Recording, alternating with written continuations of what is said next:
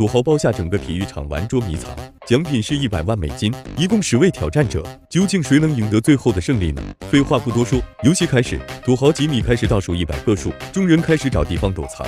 这个体育场可以容纳十万人，所以在这个球场想要找出十个人没那么简单。他们可以躲在体育场的任何地方。倒计时结束，一百万奖金的捉迷藏正式开始。只见吉米和海默两人前往绿岛头的方向奔去。一百秒倒计时已过，有的人还没找到藏身之处。体育场实在太大了。这时，吉米跟海默说分头行动。一号小姐姐说找到了一个完美的藏身之处，小怪却说时间完全不够用，只能随便找个地方躲。剩下的人都说自己找到了躲藏的好地方。到底谁会被第一个淘汰呢？我们拭目以待吧。海默说：“我闻到了香水的味道，估计有人躲在这个地方。”二号小姐姐说：“我躲在垃圾桶里，不信他们还能找到我，这也真是绝了。”吉米说：“我在这层逛了好几圈，没发现一个人，也不知道这群人躲哪了。”定位显示吉米的行进方向有两个人。这位小哥说：“我一定要找到一个谁都找不到的地方。”可话刚说完就被吉米抓住了。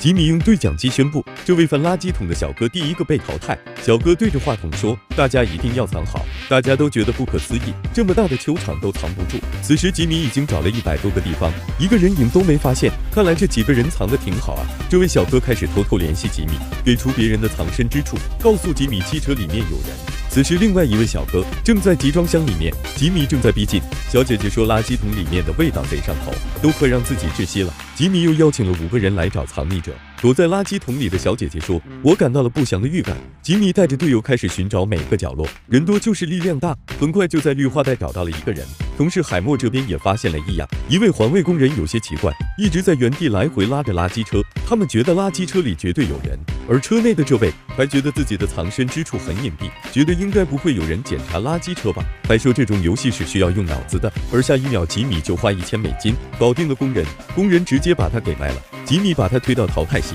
现在只剩七位选手了。选手们开始害怕了，有可能下一个被找到的就是自己。这时，吉米宣布了场地缩小，体育馆六楼关闭，并给选手十分钟重新躲藏。藏在六楼的选手需要重新找地方，他们会躲到哪呢？这个我们下期再讲。